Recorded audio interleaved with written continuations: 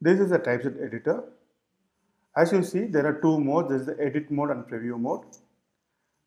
And as the editor is loaded, it has all the content related information of the template that we have chosen, like mandatory sections and what needs to be written in those sections.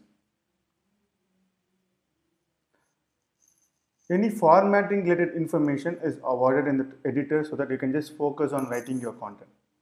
Now let's get started by writing a sample research paper.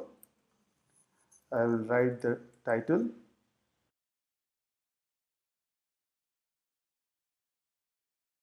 I'll add an author.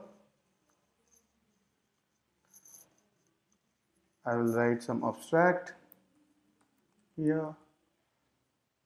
I will copy paste some content here.